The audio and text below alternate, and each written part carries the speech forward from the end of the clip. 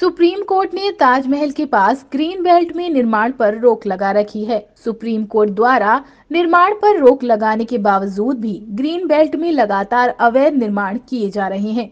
इन अवैध निर्माणों को रोकने में एरिया के अधिकारी नाकाम साबित हो रहे हैं।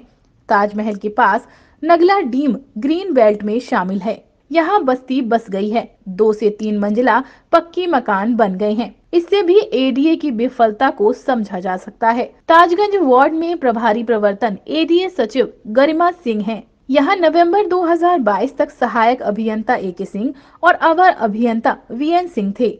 दिसंबर 2022 में सहायक अभियंता सतीश कुमार और अवर अभियंता पंकज शुक्ला व केपी सिंह को ज़िम्मेदारी मिली वर्तमान में सहायक अभियंता सतीश कुमार और अवर अभियंता विजेंद्र सिंह व केपी सिंह हैं।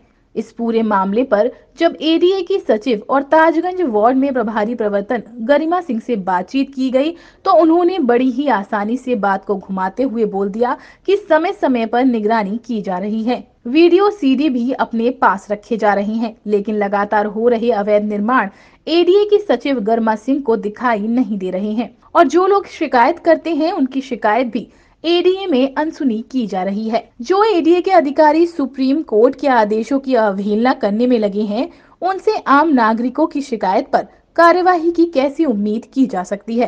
ताजमहल के पास जो ग्रीन बेल्ट है, उसका लगातार सर्वे भी कराया जा रहा है। उस पर वीडियो सीडी बना के हम लोगों के द्वारा रखा भी गया है और जो निर्माण हो रहे हैं, उसको सतत निगरानी की जा रही है। अगर आपके द्वारा कोई ऐसा पत्र संज्ञान में लाया जाता है कि कोई निर्माण हो रहा है तो उसके विरुद्ध मुख्यमंत्री पोर्टल पर शिकायत की गई थी शिकायत में सिर्फ़ नोटिस जारी की गई अभी तक वहाँ भी निर्माण उन पर कार्रवाई नहीं हुई। जो प्रकरण आपने बताए हैं कुछ ऐसे प्रकरण भी हमारे समझ आए थे जिन्होंने इस बात का दावा किया है कि वो उन्नीस सौ तिहत्तर से पूर्व के निर्माण है। कुछ जो नए निर्माण है उनके विरुद्ध अवश्य कार्रवाई हो रही है।